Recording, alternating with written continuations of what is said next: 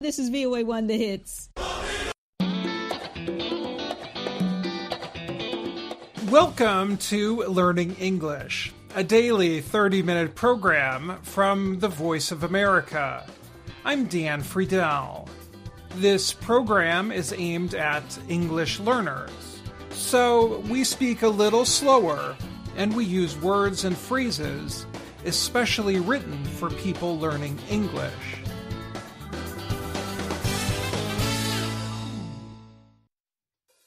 Today on the program, you will hear stories from Ashley Thompson and John Russell, Bryan Lynn, and Anna Matteo.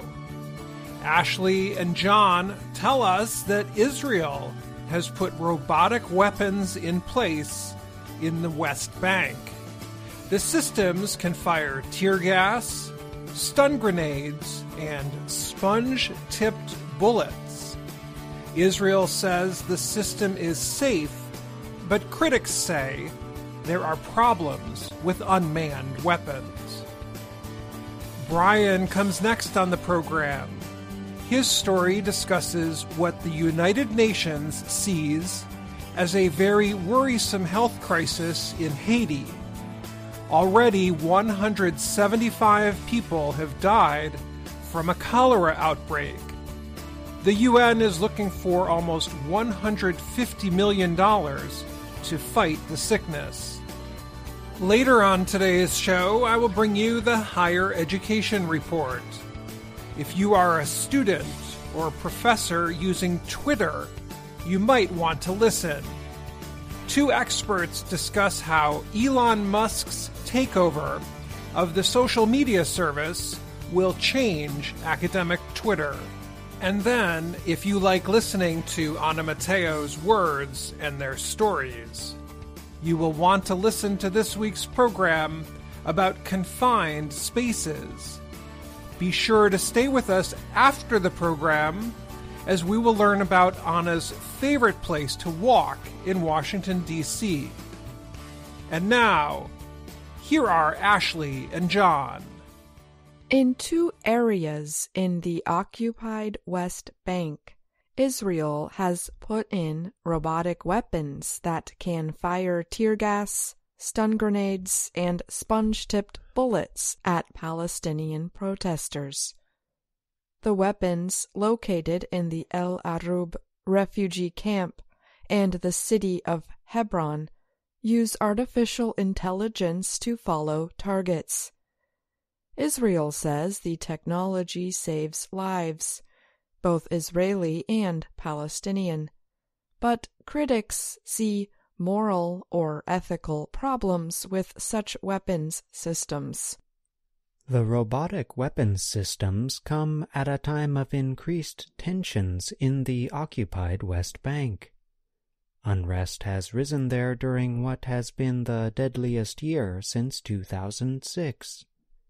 The victory by former Prime Minister Benjamin Netanyahu's alliance, which includes a party with close ties to the settler movement, has raised concerns of more violence. One of the weapon systems is located on a guard tower overlooking the El Arub refugee camp in the southern West Bank. Witnesses say that when young Palestinian protesters enter the streets throwing stones and firebombs at Israeli soldiers, the weapons shoot tear gas or sponge tipped bullets at them. About a month ago, the military also placed the robots in the nearby city of Hebron, where soldiers often clash with stone throwing Palestinians. The Army declined to comment on its plans to deploy the system elsewhere in the West Bank. Palestinian activist Issa Amro said Hebron residents fear the new weapon might be misused or hacked. He added that people also do not like what they say is a weapons test on civilians. We are not a training and simulation for Israeli companies, he said. This is something new that must be stopped. There are no soldiers next to the machines. Instead, the weapons are operated by remote control. At the touch of a button, soldiers inside a guard tower can fire at selected targets. The Army says the system is under testing and fires only non lethal weapons used for crowd control, such as sponge tipped bullets and tear gas. Robotic weapons are increasingly common around the world. Militaries use drones to carry out lethal strikes in places like Ukraine and Ethiopia. Remote controlled guns like the Israeli system in the West Bank have been used by the United States in Iraq, by South Korea along the border with North Korea, and by Syrian rebel groups. Israel, known for its advanced military technologies, is among the world's top producers of drones capable of launching precision guided missiles. It has built a fence along its border with the Gaza Strip, equipped with radar and underground and underwater sensors. Above ground, it uses a robotic vehicle equipped with cameras and machine guns to patrol borders. Israel is using technology as a means to control the civil population, said Dror Sadot, spokeswoman for Israeli rights group B'Tselem. She said that even supposedly non lethal weapons like sponge bullets can cause extreme pain and even be deadly. The system in El Arub was built by Smart Shooter, a company that makes fire control systems that it says increase the accuracy, lethality, and situational awareness of small arms. The company has deals with many militaries around the world, including the U.S. Army. Speaking at the company's headquarters in Kibbutz Yagur in northern Israel, Chief Executive Michal Mor said the gun requires human selection of targets and military equipment. They always have a man making the decision regarding the legitimate target, she said. She said the system reduces injuries and deaths by distancing soldiers from violence and by making shots more accurate. But Omar Shakir the Israel and Palestine director at Human Rights Watch, said Israel is on a slide toward the digital dehumanization of weapons systems. By using such technologies, Shakir said Israel is creating a powder keg for human rights abuse. A powder keg is a situation that is likely to become dangerous or violent. In El Arub, Residents say the machines fire without warning. It is very fast, even faster than the soldiers, said Kamal Abu Hishesh, a 19 year old student. He described almost nightly clashes where soldiers enter the camp as the automated gun fires tear gas. Paul Scharre of the Center for a New American Security is a former U.S. Army shooting expert. He said that without emotion and with a better aim, automated systems can possibly reduce violence. But he said the absence of international rules for killer robots is a problem. Otherwise, he said, it is only a matter of time before these weapon systems are equipped to use deadly force. I'm John Russell. And I'm Ashley Thompson.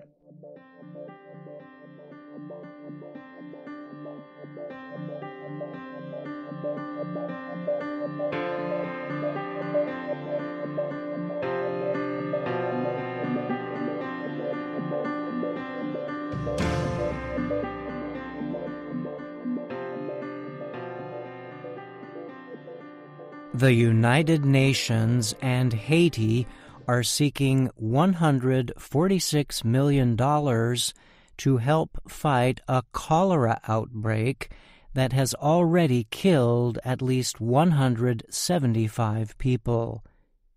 Health officials in Haiti say cholera cases have quickly been rising since life started returning to normal after a fuel blockade halted many forms of business and services. The blockade forced gas stations to close, hospitals to reduce services, and banks and stores to limit hours. The blockade was established in mid September by a powerful Haitian gang. The gang recently lifted the blockade, and gas stations reopened last weekend across Haiti. Dr. Gentil Fils is a spokesman for Haiti's Ministry of Health. He told the Associated Press that people are back on the streets and likely spreading cholera as the government struggles to contain the problem. We need more resources, Fils said. Cholera cases continue to climb in Haiti. The Pan American Health Organization, PAHO, estimates at least 175 people have died from the latest cholera outbreak and more than 7,600 have been hospitalized. The actual number of cases is likely much higher because of underreporting of the disease.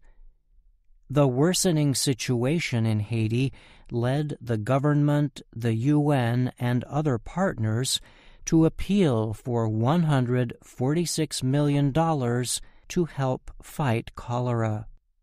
Health officials fear that at least half a million people in Haiti are at risk of becoming infected. Ulrika Richardson is a special UN representative in Haiti. She called the rising case count and fast spread of the disease across the country worrying. Fils noted that cholera cases were likely contained during the fuel blockade since gas stations were closed and many in the country of more than 11 million people remained home. Stephanie Mayron is a medical operations official for Doctors Without Borders. She said if people sickened with cholera start traveling to areas with poor sanitation and a lack of drinking water, the number of cases will likely keep rising. It's a match that can light a fire, Mayron added. The number of patients seeking help at Doctors Without Borders hospitals in the capital of Port-au-Prince greatly increased in recent weeks. So far, more than 6,500 patients have been admitted. Beds filled up so quickly that the aid group was forced to open a fifth center two weeks ago said Doctors Without Borders official Alexandra Marcoux. The PAHO told the AP it is supporting Haiti's government in preparing a request for cholera vaccines and planning to launch vaccination campaigns. But health experts say it remains unclear when those efforts will begin. In October, the World Health Organization, WHO, announced a worldwide cholera vaccine shortage that forced it to suspend its usual two dose administration policy. Mayron of Doctors Without Borders noted that a single dose can lower one's risk by only 40 percent. The World Health Body said the shortage happened at a time of unprecedented rise in cholera outbreaks worldwide. At least 29 countries have reported cholera cases this year, compared with fewer than 20 on average for the past five years, the WHO said. I'm Bryan Lynn.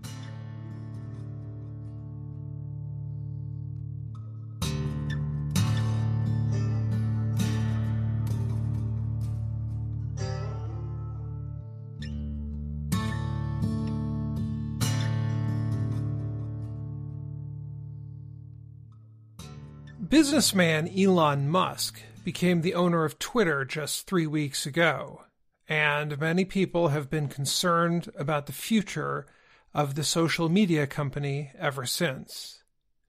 Alexandra Roberts is a law and media professor at Northeastern University in Boston, Massachusetts. She had this to say. I have been a really active Twitter user for a long time, and I have made fantastic connections there that have helped with my scholarship and with my teaching. And also, I've been able to learn from a lot of other people, and I've been able to build a network. And I've gotten a lot of opportunities there as well. Since Musk took over, Roberts said, everything kind of went haywire. Haywire means something that is out of control or not working. She noted that Twitter may no longer be as safe a space as in the past. There is less certainty that people are who they say they are. Shortly after his takeover of Twitter, Musk started a service that permitted anyone willing to pay $8 a month to get a verified account. In the past, a verified account was only available to the government, companies, reporters, and well known figures verified by Twitter. Someone then set up a verified account with the name of the drug company, Eli Lilly. The account set out a tweet saying its insulin drug, which helps people with diabetes, would be free. The false tweet forced the real company to post an apology.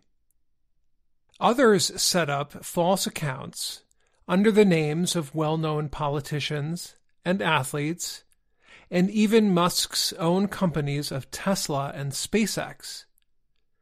The service, called Twitter Blue, has since been suspended. Musk also cut half of Twitter's workforce and changes in the service made some important employees decide to leave. The developments concern people who have used the service for 16 years. Already, people are leaving Twitter, and companies are pulling back advertisements. A 2018 study published in PLOS One says Twitter has played an important role in the discovery of scholarly information and cross disciplinary knowledge spreading. The study also says people use the service to share real time information and make connections.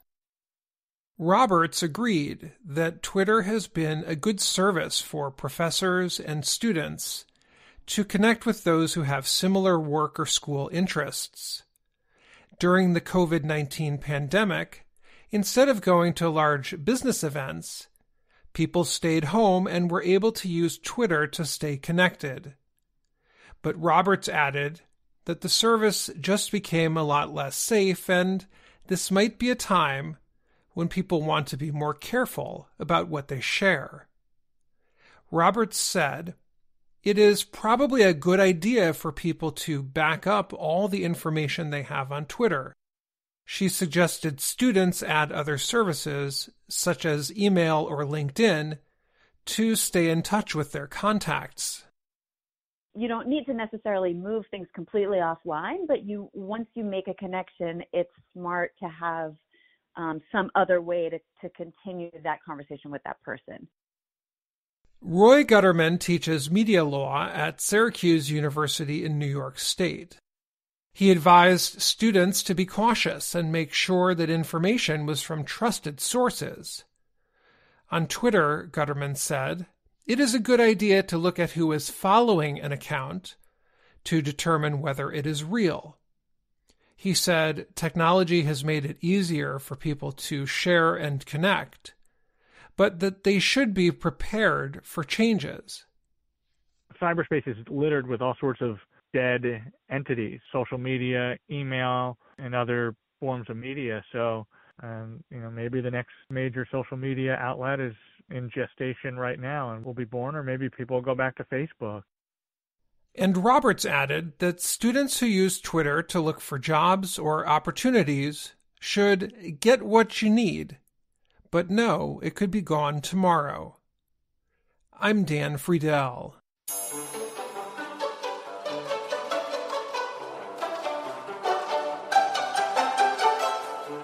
And now, words and their stories from VOA Learning English. On this program, we explore words and expressions in the English language. We give you examples and notes on usage. Today, we go inside a building and talk about a feature of every building walls. Walls protect us from the outside world. They can help us stay safe and give us comfort. But what if we are inside a room too long? Those same walls can start to feel like a prison. We can feel trapped by them. When that happens, we can say the walls are closing in on us. This means you are feeling confined or stuck in an area. For example, after a year of living with the COVID 19 pandemic, I felt like the walls of my house were closing in on me. When that feeling came over me, I knew I needed to go outside for a walk. When you feel trapped or confined indoors, a walk outside usually helps. Not only are you in the fresh air, but you are also looking at different things. A change of scenery can help when you feel like the walls are closing in. Sometimes the walls in this idiom are not actual walls in a building. Instead, they are walls in our minds or in a certain situation. We can use the expression, the walls are closing in, when we are sick and tired of something. For example, if you are unable to make advances in your job, you could feel like the walls have closed in on your career. You may feel like you don't have the chance to advance or try new things. It can feel like the walls are closing in on a relationship too. When people find themselves in very restricted relationships with someone who is trying to control them, it may feel like the walls are closing in on them. In these cases, a change of scenery is not found outside in the woods. The change of scenery is a new job or a new relationship. When the walls feel like they are closing in, we can also use another word to describe what we are feeling claustrophobic. Claustrophobia is defined as an abnormal fear of being in closed or confined spaces. Sometimes we use the term claustrophobic to mean we feel uneasy by a situation that is limiting or restricting. This feeling of unease could be from physical or non physical reasons. A job and a relationship can also feel claustrophobic. Now let's listen to two people use the words and expressions you heard in this story. Hey, what happened to Chad? I haven't seen him around DC lately. During the pandemic, he moved out west, somewhere in the desert. The desert? What made him do that? He said he felt too claustrophobic in the city and was sick and tired of being around so many people. He needed more space and open skies. I can understand that. Sometimes the walls of my apartment feel like they are closing in on me. But moving to the desert is a pretty extreme decision. He'll be back. He texted me last night complaining that it takes him 30 minutes to drive to the nearest store. Well, he wanted more space. Now he's got it. Yep. And that brings us to the end of this Words and Their Stories. Until next time, I'm Anna Matteo.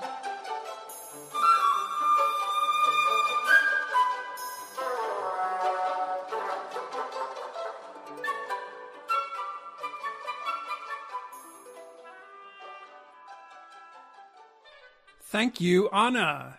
I'm Dan Friedell, and you're listening to the Learning English broadcast. We hope you all enjoyed that report about confined spaces. We are joined now on the program by the presenter of Words and Their Stories, Anna Matteo. Welcome, Anna. Thanks, Dan. I am so glad to be here. Thanks for arranging this conversation. So, Anna, I remember working from my very small apartment during the first part of the COVID 19 pandemic. When the walls were closing in, I went for a walk on the National Mall in Washington, D.C. Where did you go when the walls were closing in? What a great question. When I felt the walls closing in on me, I would also take a walk. My favorite walk was to a monastery. A monastery is a place of worship, but this one is open to the public and it has flower gardens and fish ponds. So it is very peaceful and beautiful.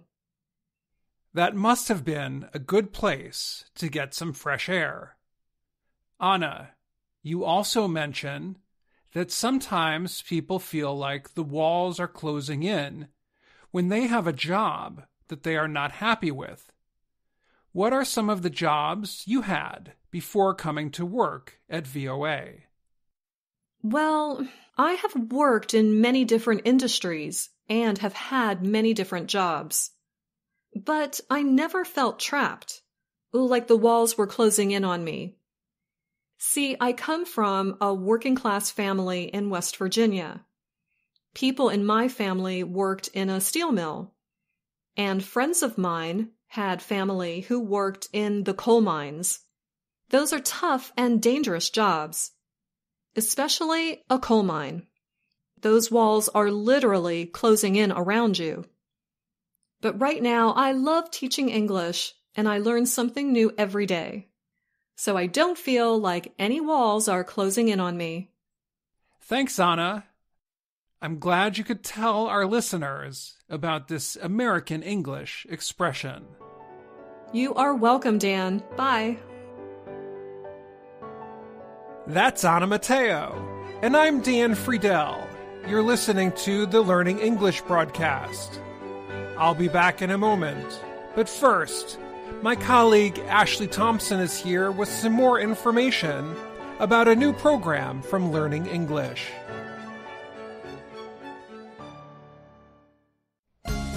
VOA Learning English has launched a new program for children. It is called Let's Learn English with Anna. The new course aims to teach children American English through asking and answering questions and experiencing fun situations. For more information, visit our website learningenglish.voanews.com. Thank you, Ashley. And that's the Learning English broadcast for today. Thank you for listening. Thanks to my colleagues Anna Matteo, Ashley Thompson, John Russell, and Bryan Lynn. We hope you enjoyed learning English with stories from around the world. If you want to find out more about the world in an English style that is a little bit slower, visit us at learningenglish.voanews.com. We will be back with more tomorrow, and we hope you tune in. I'm Dan Friedell.